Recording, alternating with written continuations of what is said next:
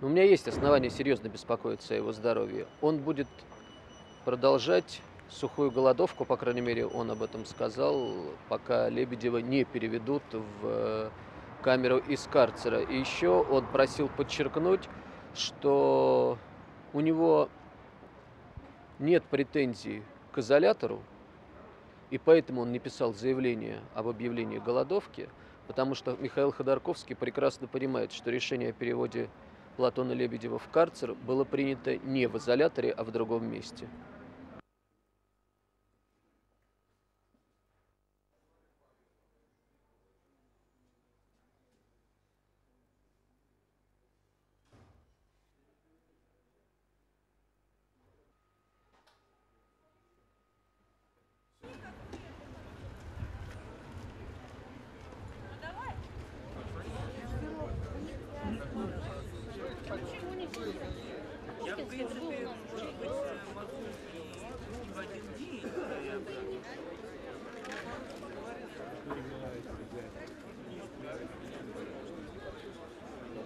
Uh, this is either act of desperation or um, only weapon that he can use to show his resolution to fight against uh, uh, this uh, uh, kangaroo court that uh, keeps uh, uh, uh, bringing down all the hopes that this trial will um, end um, injustice.